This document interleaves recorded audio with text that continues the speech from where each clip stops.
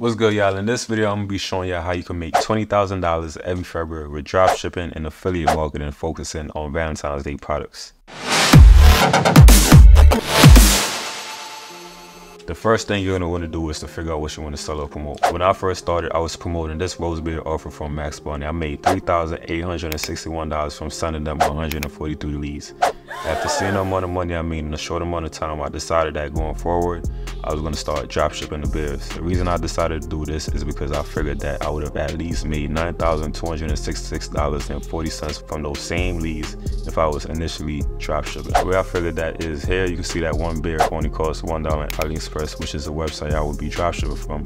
The MaxBounty offer is paying me $27 per sale.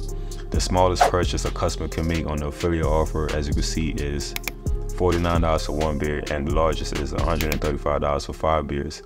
MaxBounty didn't tell me which packages were bought when I sent them leads, but regardless, the cost would be just $1 per beer purchase and the $27 payment per lead to me. If you look at this little mat that I did right here on the screen, you can see that the average profit per sale after cost would be $64.80. Multiply that by the 143 leads I sent, and that equals $9,266.40. Also, not only did I start making more money by drop shipping the biz, but I also started making money from upselling other products. So here's some of the products I have. Of course, got the rose beer, right? These real popular. You probably see these all over social media every time Valentine's Day is coming around. But not only do I have these, I have these roses right here, which are actually real preserved roses um, box and everything and these are actually popular just like these. These sell out real fast every Valentine's Day. Also I have these right here which is similar to the rose beers made out of the same material. It has the same rose design all over it. These also sell out real fast. So it's always it's always important to have a whole bunch of these on deck. And can't forget the chocolate. These this brand right here real popular always sell out of these fast. Can't keep inventory of this right here, so I have a whole bunch of these as well. And the reason I have an inventory of this stuff right here is because I know after doing this for about three years now that I'm going to sell about seven to eight thousand dollars worth of this stuff. And it's actually better to have it and ship it out yourself because sometimes with drop shipping, since the stuff is coming from China, it's coming from overseas, it'll take a long time to ship. It might not get to the customer in time. The customer um, and, and in turn will just cancel the order or do a chargeback. So it actually makes sense to just buy the inventory and stuff if you know you're gonna sell it and just ship it out yourself. In addition to those items that I know usually sell good, I also usually add in some other products for drop shipping like this ultrasonic skin scrubber, uh, sorted for pets for the pet lovers, and friendship bracelets for the girls getting together, Valentine's Day, and usually these random miscellaneous items that I add will make me another 8,000 or $10,000. Normally to find these products, I just browse AliExpress and see what I think would sell good. But this year I actually used ChatGPT to see what it recommended and started looking from there. ChatGPT also recommended that I list the products for singles celebrating Valentine's Day, as well as girls that are getting together as friends, and for people who have pets. I felt like those were all good suggestions. So later on when I show y'all the website, I'll show y'all how I implemented those suggestions. Now that you know which products you're selling, it's time to make your website. The first thing you need to do is to connect your domain to your web hosting. Do that, all you gotta do is open your web hosting panel. If you don't have a domain name, you could buy one right here, but I already want my name. So what I'm gonna do is I'm gonna copy the domain name, doyoulovemeai.com and I'll put it right here, click continue afterwards it's going to tell me that I need to update my name server. So you copy that name server right there and you put it right there. And then you copy the other one. You put it right there and then you click the green arrow to save.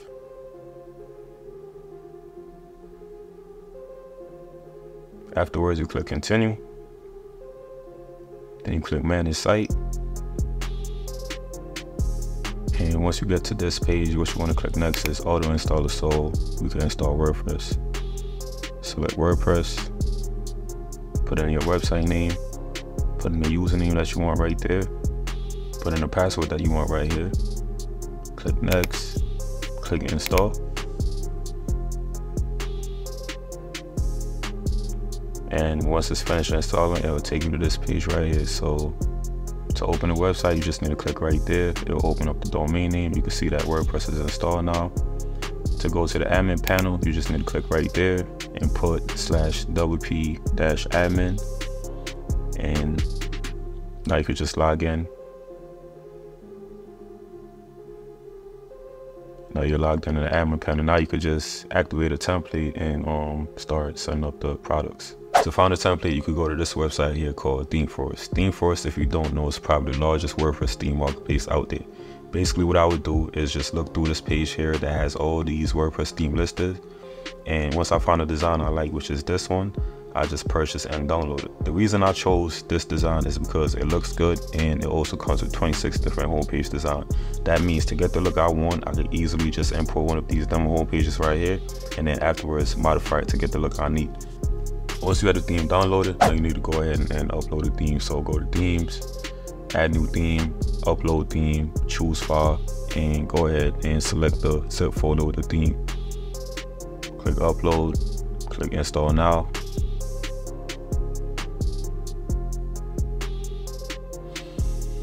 Once it's installed, then click activate. And afterwards, now you're gonna need to install the plugin. So what I'm gonna do now is I'm just gonna click install on each of the required plugins. Return, install. I'm just gonna do this for every plugin that says type required.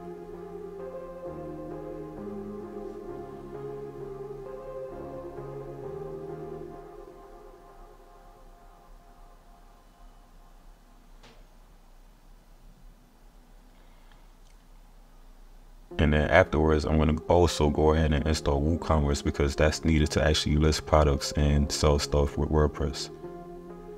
After I install the plugins now, I'm to go ahead and select each of the plugins that I just installed and I'm to go ahead and activate them. So select, select, select, select, select WooCommerce and click activate and then click apply. Now I'm to go ahead and go to tools click demo importer and now I'm to just browse through this page and see which one of the home pages design I want to use.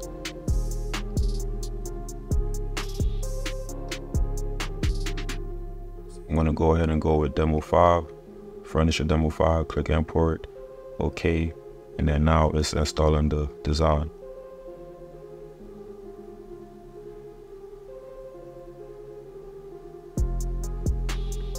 Okay, so once the design is finished being imported, now you can actually go to the home page and if you check, you will see that the design is now the selected design that you imported. So what I'm gonna do now is I'm gonna switch out the logo with the logo I had created. I'm also gonna add in the product categories and switch out the products with the products that I'm actually selling. So I'm gonna do that now and then I'm gonna come back and show you guys how the website look afterwards.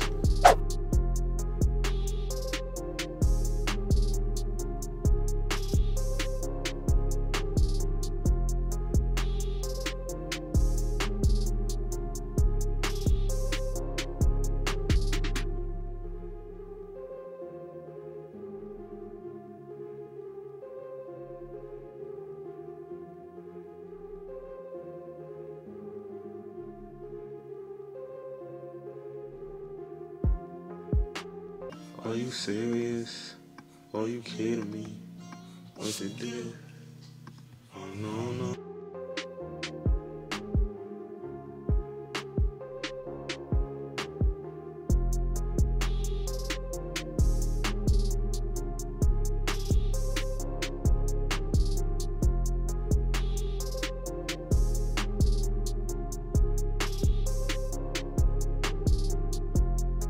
Alright y'all, so I went ahead and modified the design and this right here is the results. You can see I swapped out the logo with my logo. I changed the section header font to a cursive font and I also made it pink to match the logo. Then right here I added a little introduction basically welcoming the customers. Below that you can see I have my product sections which is sweets, gift, Galentine's which has products for girls getting together. That was recommended by ChatGPT. And below that I have gifts For pets, another section recommended by ChatGPT. Once your website is set up and ready to go, it's time to market it. The main way that I would market is with influencers. If y'all don't know, I've been doing influencer marketing for years and I own a network called Epic Revenue. Before it was called that, it was actually named Influencers Reach and I used to only allow influencers to join and promote. Since I own a network and I got a good relationship with a couple influencers, all I need to do is just shoot them a message telling them to do a post for me.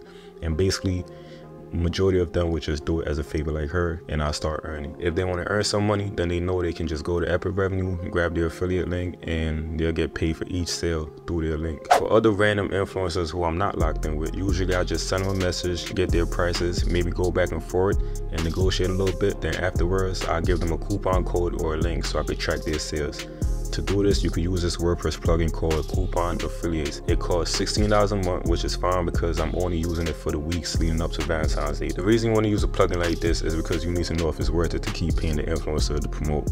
A lot of these influencers have fake followers and fake engagement, which means you will pay them for a promo and end up making nothing in return. The second way I promote is with TikTok and Instagram. So I went ahead and created a TikTok and also Instagram. From there, all I do is post a bunch of product photos and videos on each page. Then I went ahead and bought 20,000 followers for each page along with likes for each post on the pages. The reason I do this is to make the business look big and trustworthy. From there, what I do next is just boost some of the posts from both pages. Boosting works the same on TikTok as it does Instagram. When I'm boosting the posts, I set my total budget for all the posts I'm boosting as my average product price. In my case, that's $35 and then I let it run for three days. The reason for doing this is just to get data and it's a safe bet that if you spend that amount, you will at least get one sale which will cover initial advertising costs. From there, you could just retarget your ads which basically means to advertise to whoever is engaging the most with your ad. So for example, if you see that the majority of people who's engaging with your ad is men in this age range, then you would just pause the current ad and make a new one focusing on men in that age range. Now that we got marketing covered, let's go over costs. When drop shipping, you don't need inventory. I only have an inventory of this stuff here because I know I'm going to sell it from past experience. Usually whatever you're selling comes right from the manufacturer, so there's no inventory cost. The customer pays you, then you order it. With that being said, you will have a domain name cost. For me, that was $11 from Namecheap web hosting costs, which on average is $4.99 to $9.99. For me, that was $0 since I already had hosting to pay for up until 2025 from another website, which I recommend doing because the 24 to 48 month plan is heavily discounted. And last, a WordPress theme, which can be free and go up to $69.99 for a decent one. For me, I'm using the Airy for Steam, which I already paid for from using it on another site, so my theme cost is zero. If you like the video, make sure you like, comment, and subscribe hit the notification bell, and just tune in.